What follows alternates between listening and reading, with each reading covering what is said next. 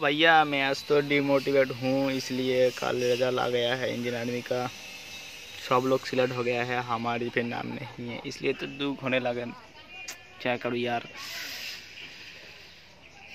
मन कर रहा है, मैं अभी मर जाऊँ यार, क्या करूँ? दिमाग तो छे जा रहा है। कोई बात नहीं, आप लोग चेष्टा करते रहो, आपको ज़रूर सक्सेस मिलेगी। क्या करी यार। आके तो हमारी ख़राब होने लगी यार।